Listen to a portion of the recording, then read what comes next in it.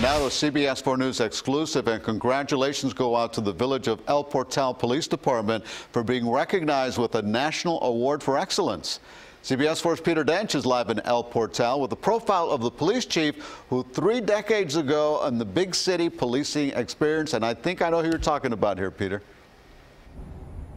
Well, that's right, Elliot. You know, some of you may remember David Magnusson from his 30 years to the Miami Police Department. He is among a series of Miami police officers who have gone on to become police chiefs at smaller cities in Miami-Dade County. I can tell you he has not lost his passion.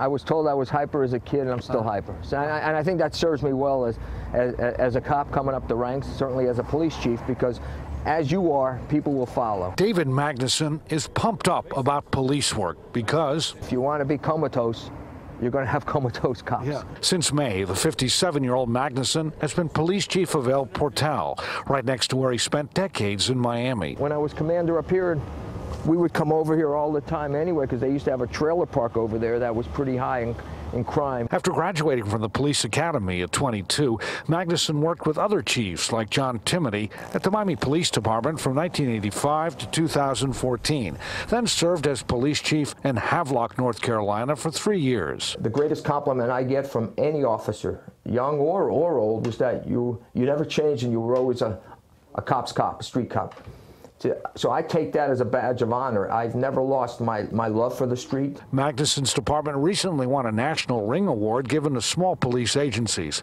He supervises up to 20 officers, calling on his Magic City experience. You come up in patrol, then I'm supervising, then I'm commanding patrol, I'm doing narcotics, I'm doing robbery investigation. El Portal has 2,200 residents. We had a rash of car break-ins and then we made one arrest that went away. He boxed as an amateur for 26 years and refereed matches and uses boxing metaphors when describing El Portal. And if we're going to be a bantamweight, then we are going to strive to be the champion. You break the law, we are going to go after you. You have to remain vigilant to the fact that, listen, people are getting victimized from time to time, and they look to us uh, to, to help them. Now, in his spare time, the married father of five children likes to cook, travel, read, and write, and spend time with his two grandchildren. I've covered David Magnusson on news stories since 1993, and he is showing no signs of slowing down.